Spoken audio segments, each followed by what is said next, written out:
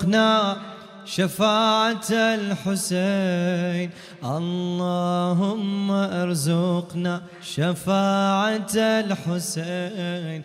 اللهم ارزقنا شفاعة الحسين. اللهم ارزقنا شفاعة الحسين. اللهم ارزقنا شفاعة الحسين.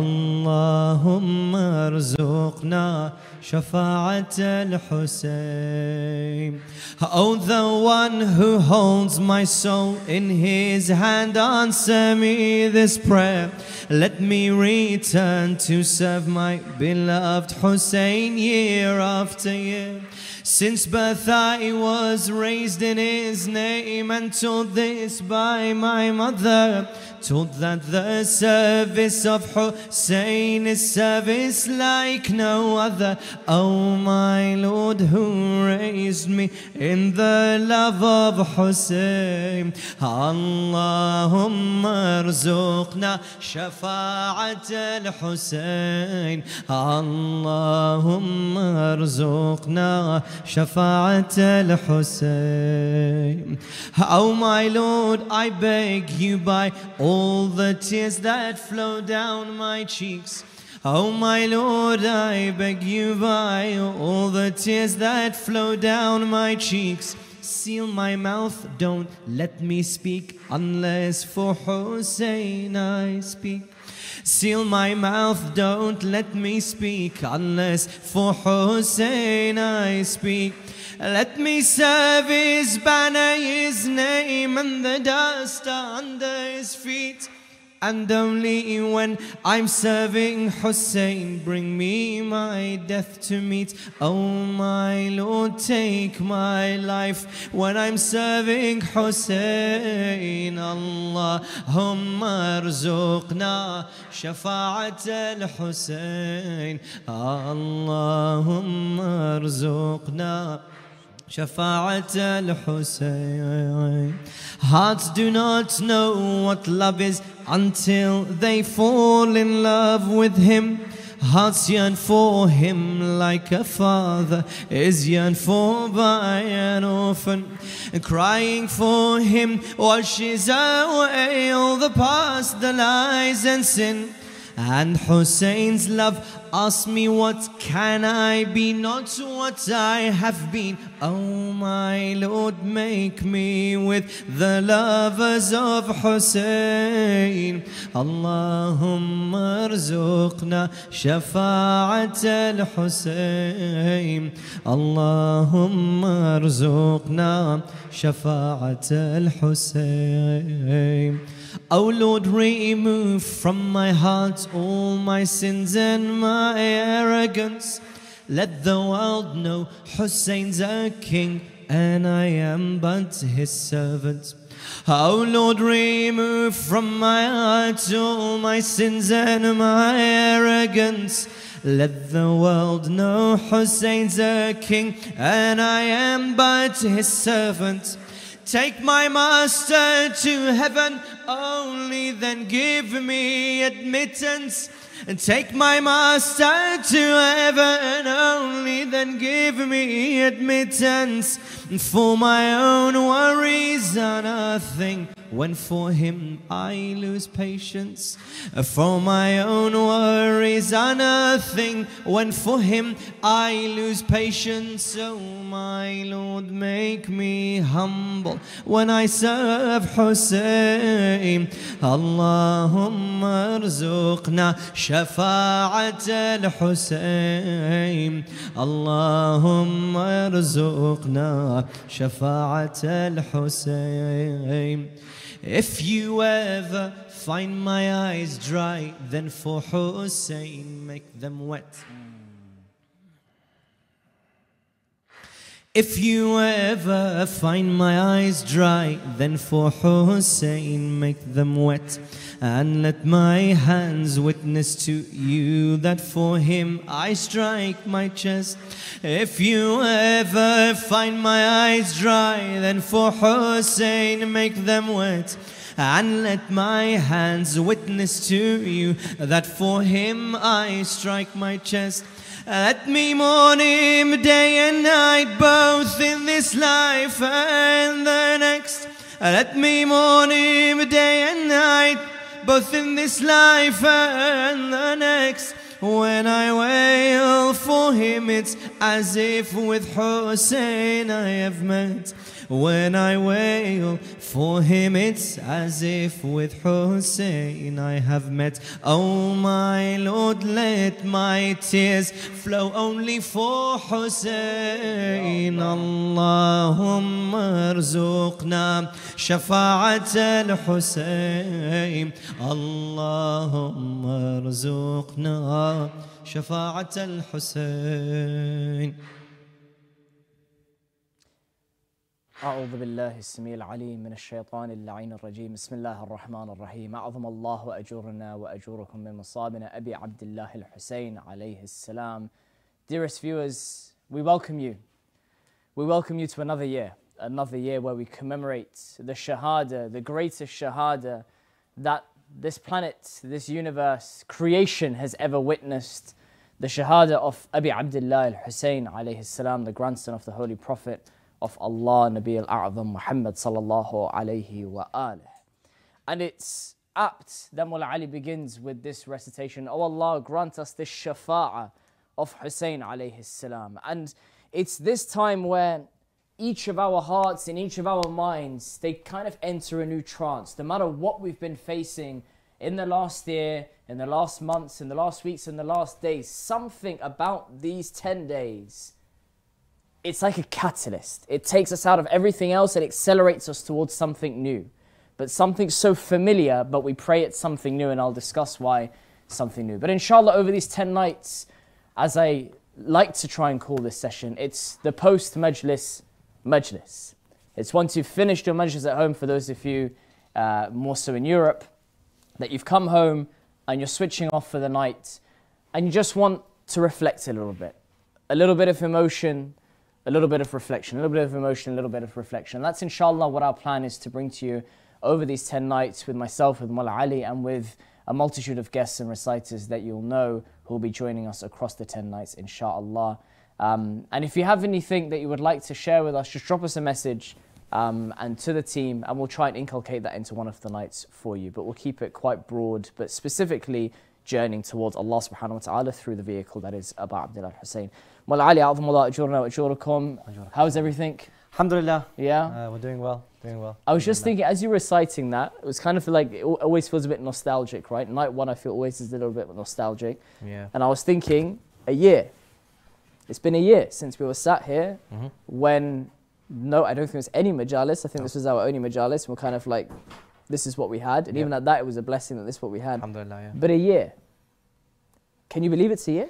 Yeah, I mean, a lot, a lot happened uh, during this year, especially where we are at in the UK. You know, sometimes we're in lockdown, and another time you're out of lockdown, and health is the major, major Yeah. priority for everyone. You know, we've um, people have lost loved ones actually during during this year. I personally have uh, lost my my uh, my grandmother too. um, to COVID just a couple of weeks after Muharram, actually during the Arba'in Mm. season. Um, and so it's it's quite hard to, to to believe that from a personal perspective that some of the loved ones that we usually see and greet during Muharram um, they're not around. I'll give you another personal story. I remember my grandfather, Mm-hmm. um, may, may Allah bless his soul, um, many years ago he passed away. He, I, I remember on the 10th of uh, Muharram, 10th of Muharram, I was, I was very young at the time, he was, he was with us. Um, on the 10th of Muharram, day of Ashura, I was in the morning, we're going towards, um, going towards the majlis, and this man just would not stop crying. Um, he just would not, he was in the car with us, and, and I was probably, what, seven, eight at the time. Mm. I just kept looking at him thinking, what is it that you are feeling and what is this emotion? I know that Imam al Hussein is important to you. He's, he wasn't that important to me then because I didn't understand the concept Sure, of Muharram and ash- Sha'air and, and, and getting involved in majalis and service and khidmah. But I can see there was a, a deep grief in this man's face.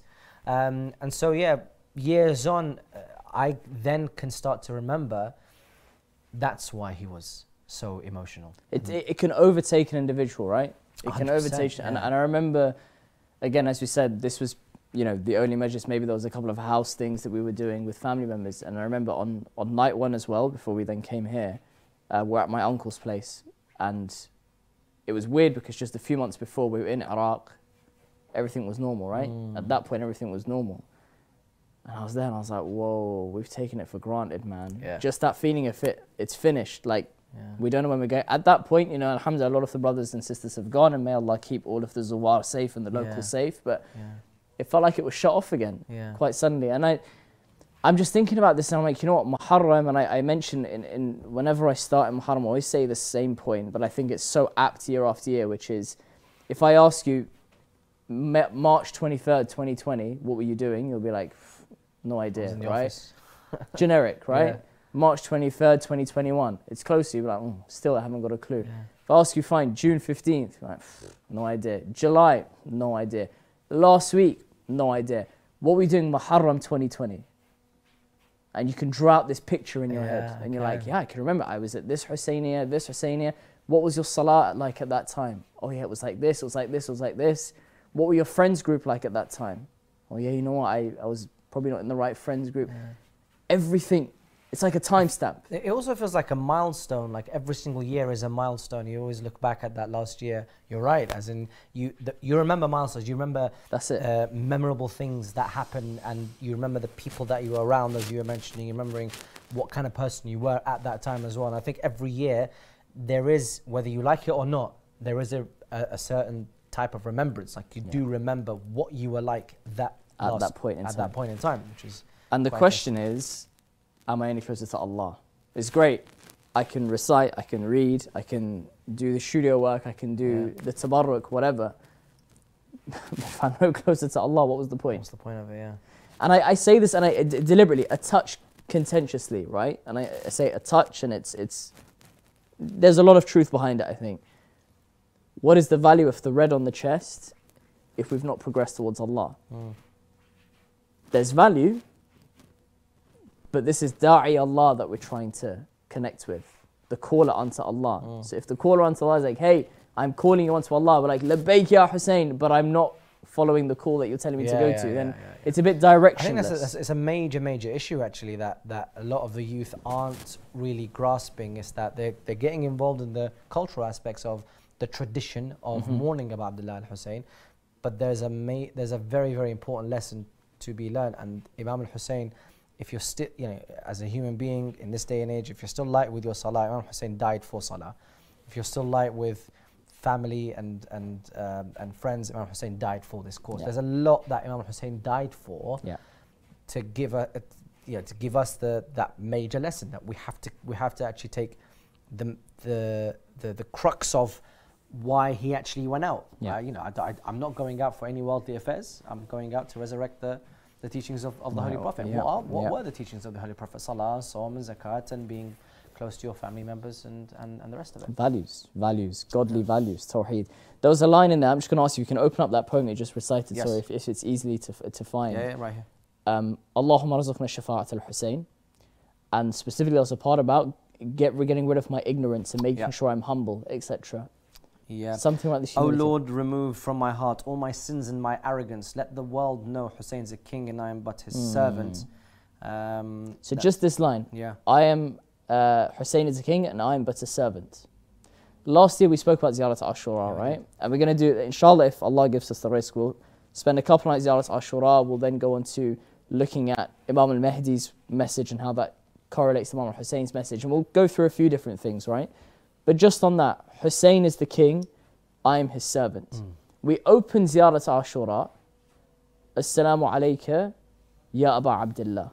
It's focused on not Hussein, not Mawlai, not Sayyidi, not Imam, not Malik, not King either, actually.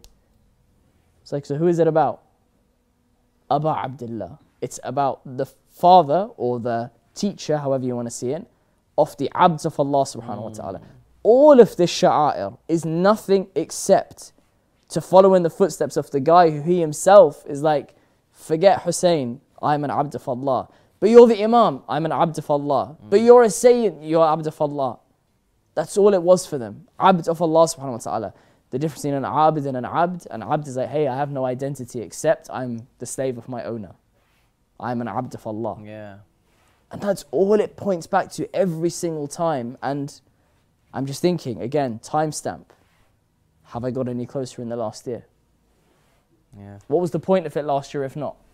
Yeah, I think on this on this point of actually the, you know, the imams having this, they were so devout in their their love for Allah subhanahu wa ta'ala, not, not, not being afraid, not just being a worshipper, but actually loving Allah subhanahu wa ta'ala and everything pointed to that direction. Imam Hussein alayhi salam in in um, in the day of Arafah, um, in in the ziyah, in the du'a that we actually we actually mentioned. Beautiful du'a. Everything everything testifies to the oneness of Allah subhanahu wa ta'ala. My eyes, my ears, my hair, my whole existence is geared and, and positioned to serve Allah subhanahu wa ta'ala. Honestly. And the fact that we you know, we have this love for Imam al-Hussein, which is which is sometimes unbelievable. Yeah.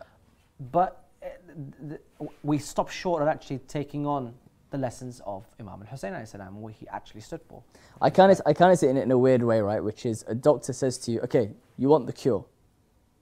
Come to me, I'll give you the cure. Come, you'll attend that GP appointment. You won't miss it. You'll be there bang on time. Whatever, whatever, whatever. Gives you all this advice. Take this medication. Whatever, whatever, whatever. In order to get better, you go home. You don't bother. Yeah. But I visited the GP. yeah, bro, it's not going to do anything. yeah, Oh, but I visit him every single time he calls me. Yeah. But you don't I, I, I don't go to work. I make sure, you know, I cancel work and I make sure I go visit the GP. Yeah, but he's told you to, to do A, B, C. Oh, I'm not feeling the spiritual effects. Yeah. You go to Hussein, but you're not following his teachings. It's a very good point, actually. What's the point, It's a very, very good point. Um, yeah. And it's something very subtle that, that the tafsir talks about, where it's saying, look, you're declaring this salam, this state of peace upon the imam, right? It's not just a physical peace. Fine, well, I won't attack his grave, I won't do anything nonsensical like this, but it's a spiritual declaration of peace. So if I'm not going to attack his grave, fine, that's the physical side, but I also can't attack his soul with my riba, with my lying, with my backbiting, yet on the plane towards there. But during the setup for the majlis, or after the majlis, or during the majlis, I'm on my phone spreading some gossip. I'm, What do you think is the major drawback? Like, what's, what's, the, what's the major thing holding them back from actually taking on those lessons and actually taking the medications, as you mentioned? Great if, analogy. if, if we had the answer, then It's, we wouldn't have the it's issue. It's really fascinating. It's like we, we, we know what the answer is, but no one's actually willing to, to really take it on board. The, the um, only hypothesis I have is this, and someone shared something today, and it, it really summarized it well. And of course, I've forgotten how they summarized it. But anyway, point is this: anything in life we know worth having, struggle, right? It's never going to mm, come easy. It's struggle. Everyone's like, I want to have this spiritual ascension. I want to feel a lot. I want to be in this whatever. But the lifestyle we're in is about getting it quick. Don't work hard for it. But we know it's a struggle. It's meant to be difficult. Allah tests His servants in hmm. order to see how much conviction you're going to have, how much you're going to come back to me. Sayyida Zainab alayhi salam, and I will never ever get over this line, and I'll repeat it a million times, and I hope no one ever gets fed up with it. How is she able to stand there, see what she's seen, and still come out with that line that there's nothing but beauty in front of her? That is a level of I've gone through struggle, and still I only see beauty, Yeah. right? But for us, we see one challenge, everything's out the pram. All those visitations, those thousands of pounds or dollars or whatever you've spent, I wouldn't say wasted, but they're not going to good use. Um, but we don't want to spend too much time. on that. I thought, as I said, I want, this session is a bit more reflective. It's Yeah. you know for us to think about. We said we'll talk a little bit about this service of Hussein, the shafa of Hussein. Um, when it comes to the opening night, what is it that's you know what recitations are you typically thinking? This is what I want to be focusing on. Yeah, so I think um, the, the, the tradition has always been kind of remembering farewell, the farewell of Imam Hussein From Medina. From Medina. Mm. Um, but in Karbala, things have things have changed slightly, um, and it's transferred to the UK and, and therefore in our in our local centres. In this in the sense that the first night or two is dedicated to the opening of Muharram Okay. and the hilal, the, the moon of Muharram, and Okay. what that actually brings. And so a lot of poetry is geared towards looking at that moon. That same moon witnessed the calamities of Abu Abdullah al-Hussein in Karbala. So a lot of the, the poetry that we that we uh, that I'm that I'm reading and I'm seeing from different reciters, especially in the Arabic world, is geared towards um, the the opening of Muharram, um, Imam al Hussein alayhi salam, uh, and and his his his message, um, but also the khidmah part of it. So the Fine. and one of the poems I actually recited today in in one of the majalis was um, Bab al Husayniyya. So I'm, I forgot the Arabic. I, I've got it written down somewhere. I've got the Arabic, but it basically meant- it means at the door of the Husayniyya, do a uh, sajjad shukr. Why? Because Allah subhanahu wa ta'ala has given you life to be able to serve Imam al Hussein salam.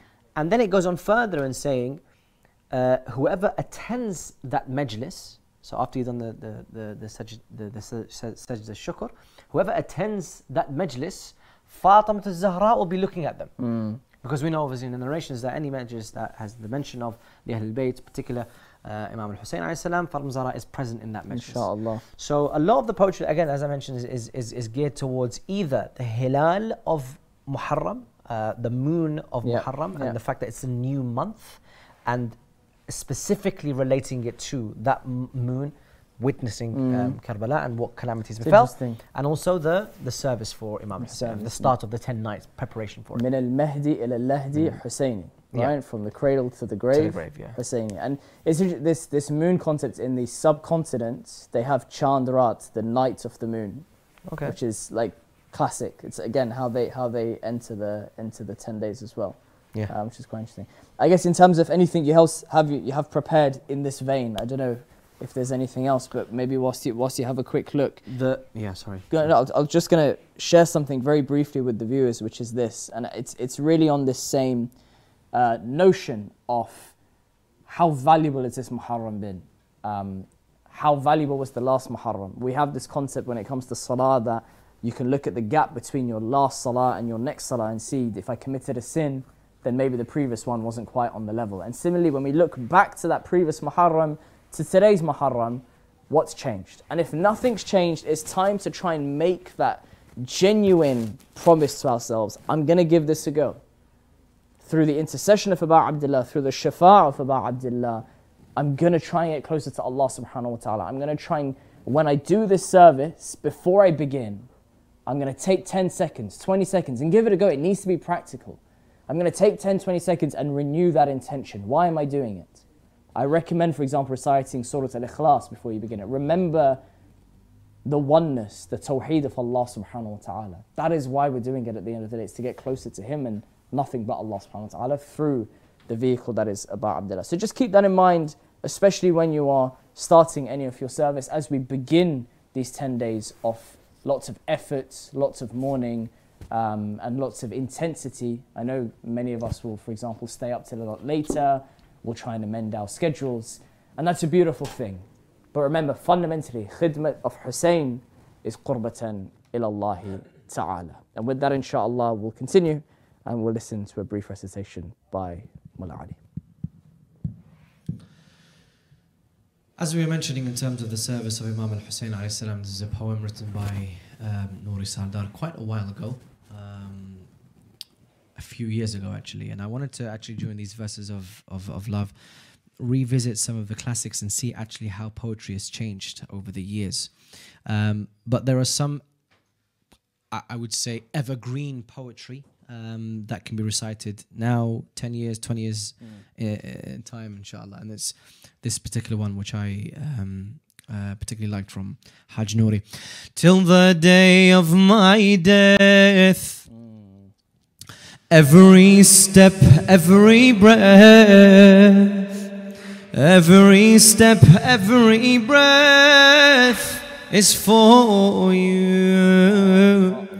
Till the day of my death, every step, every breath, every step, every breath is for you.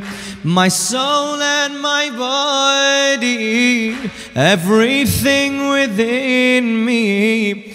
My soul and my body, everything within me is for you. I know from my soul and my heart that from you never will I part. Oh, Master, your beauty has captured my eye. For you, all that is that I cry, flow rivers. Beside Hussein, I have no one. Your name is always on my tongue, oh Savior, a medicine to all my wounds. In my darkness, you are my moon forever. To these words, listen, O rose, throughout me. Your name it flows. Do you know it's you I chose, and my heart knows deep in sorrow. Whenever I can't stand, you take me by my hand. You take me by my hand toward you. My path, my destiny, everything within me. My path, my destiny, everything within me is for you. You've taken me out of this world, my heart over you has wailed. Oh, angel, without you, I cannot think right. I walk without guidance or sight. I'm unwell against your name. I commit crimes, but I return time after time cold and pale.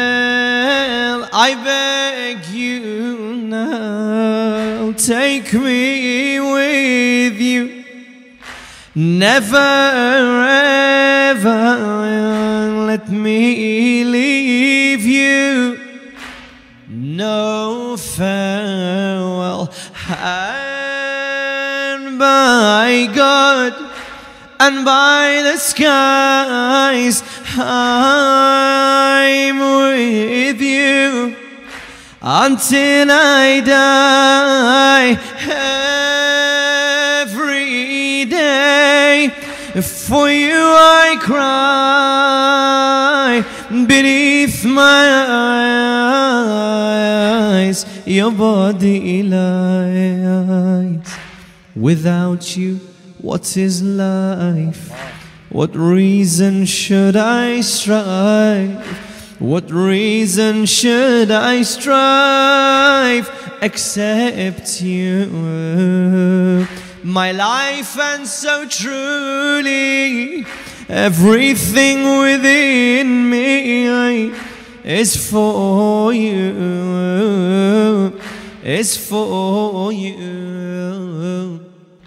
Since into my dark life you came, I was raised and lived by your name and your way. I weigh your name upon my hand, whether in smiles or tears I stand every day. My heart's attached to your greatness. I can't breathe without your nearness. I'm away,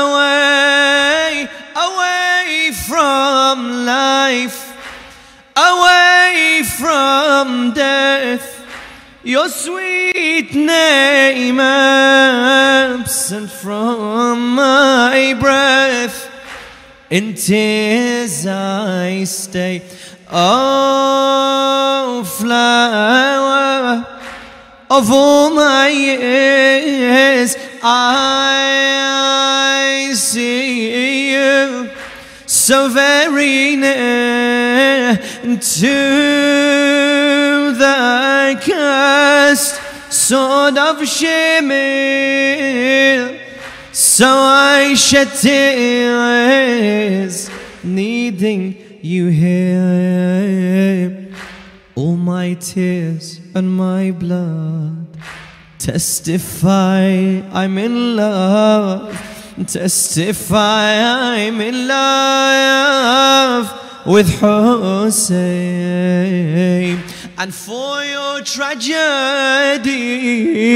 everything within me.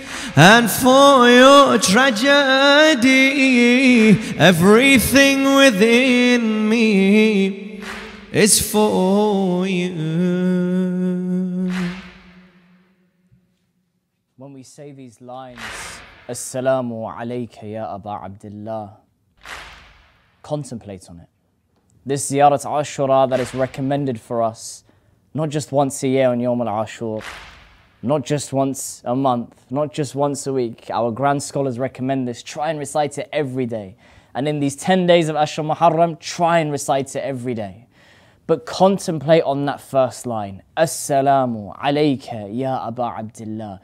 This peace, this level of salam, this infinite level of salam that we want to pass on to Aba Abdullah from As-Salam al-Mutlaq from Allah subhanahu wa ta'ala towards not Hussein, not Sayyidi, not Mawlai, but towards Aba Abdullah. The reason for giving him this salam is because he is Aba Abdullah. All his value is because of Aba Abdullah, is because he is an abd of Allah, nothing else. Any value that we have through our service to him should therefore only be because it's qurbatan ilallah. I really pray, dear brothers and sisters, that this point is super clear for us on this first night. That it's something that can, inshallah, be a catalyst for our Muharram, add a new dimension to ensure we find something godly in every single item of service that we do. And just remember this when you say that line, Assalamu alayka, you're saying alayka. You're saying to you. You're directly in a conversation, in a dialogue with your Imam. When you next recite that line, Assalamu alayka ya Aba Abdullah, think, am I truly ready to be in a dialogue with my Imam? And the etiquette of someone is that when you direct something towards them, they will reply. And therefore, we must ask the question for however many years I've been saying it 27 for me why have I still not heard that reply? Is it because he's not replying, or is it because my soul is unable to hear it? Insha'Allah, may this Muharram be blessed. Inshallah, you'll be able to join us every night as we continue with our lamentations and our reflections. But for now, we head to Karbala with our dear brother Ahmed Ali. Wassalamu alaikum wa rahmatullah wa barakatuh.